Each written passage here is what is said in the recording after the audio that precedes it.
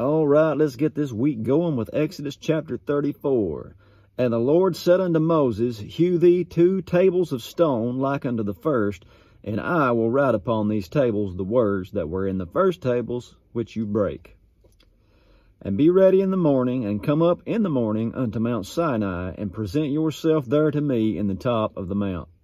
And no man shall come up with you, neither let any man be seen throughout all the mount, neither let the flocks nor herds feed before the mount. And hew two tables of stone like unto the first, and Moses rose up early in the morning, and went up into Mount Sinai, as the Lord had commanded him, and took in his hand two tables of stone.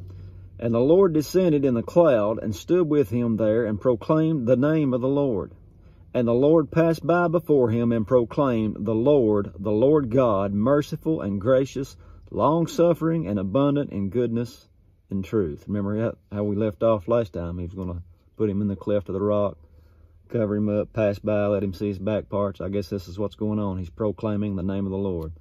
It says he keeps mercy for thousands, forgiving iniquity and transgression and sin, and that will by no means clear the guilty, visiting the iniquity of the fathers upon the children and upon the children's children unto the third and to the fourth generation. You heard of generational curses?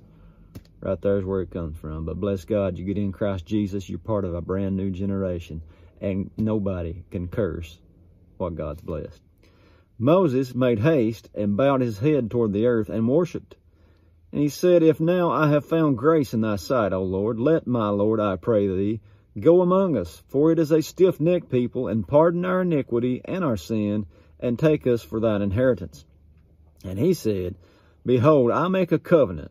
Before all thy people I will do marvels, such have not been done in all the earth, nor in any nation.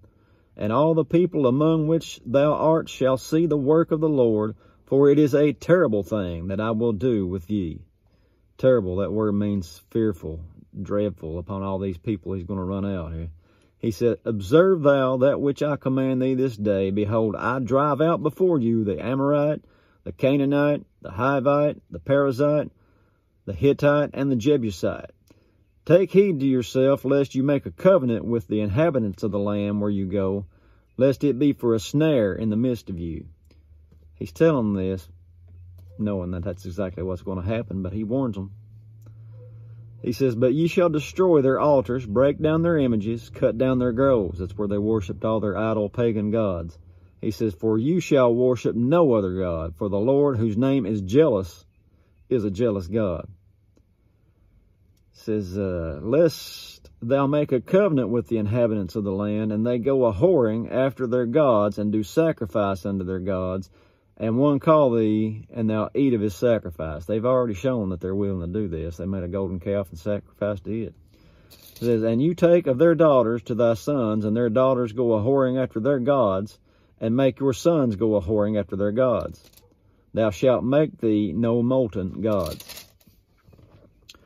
The feast of unleavened bread you shall keep. Seven days you shall eat unleavened bread, as I commanded you, in the time of the month Abib. For in the month Abib you came out of Egypt. All that opens the matrix is mine. That's the firstborn of everything. It's all God's. He says, the firstling among the cattle, whether ox or sheep, that is male, but the firstling of an ass you shall redeem with a lamb. And if you redeem him not, then you shall break his neck. Pretty hard. Uh, that makes me think, though, probably had something to do with, you remember when Jesus, it's finally time, and he comes riding down into Jerusalem. What did he ride in on? A donkey and he's the lamb. He redeemed it. It had never been rode on, had it? He redeemed it as the lamb. Praise God. Redeemed us as the lamb. Great picture there. It says, uh, six days, all right, after the firstborn of thy sons you shall redeem, and none shall appear empty before me. Six days you shall work, but on the seventh day you shall rest. In earing time and in harvest you shall rest. And you shall observe the feast of weeks over the of the first fruits of wheat harvest, and the feast of ingathering at the year's end. Thrice in a year shall all your men children appear before the Lord God, the God of Israel. For I will cast out the nations before you, and enlarge your borders. Neither shall any man desire your land when you go up to appear before the Lord thy God thrice in a year. So they got to leave wherever they live at and go to Jerusalem. He's saying, your you know, don't don't worry about leaving. Everything's going to be all right. Nobody's going to desire to come in and try and take everything you got what time you're gone. He says, uh,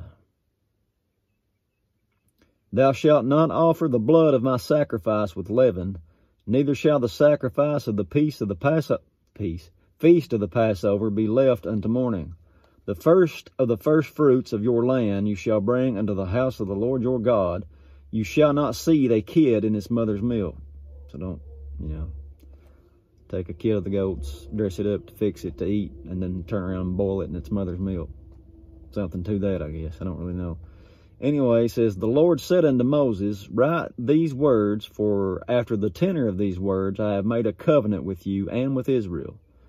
And he was there forty days and forty nights. He did neither eat nor drink water. Forty days and forty nights. So that was definitely a supernatural happening. Well, you can't go that long without water, as far as I know. Says he wrote upon the tables the, the words of the covenant, the Ten Commandments.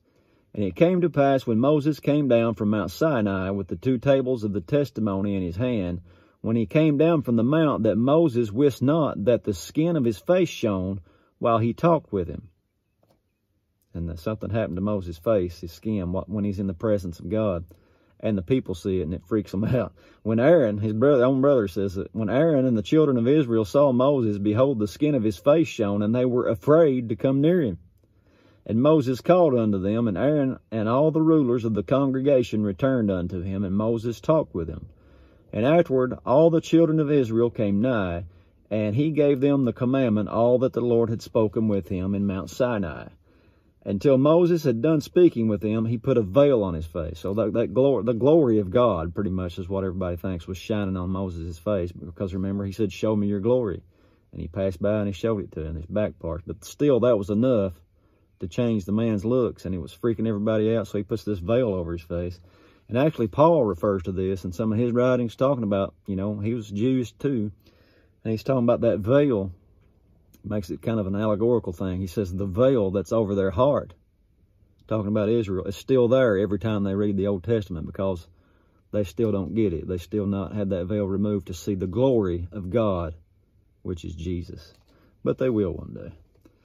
He says, And the children of Israel saw the face of Moses, that the skin of Mo Moses' face shone, and Moses put the veil upon his face again until he went and spake, spoke with the Lord, I guess. It says, until he went in to speak with him. So I guess he's talking about God there. But that's it.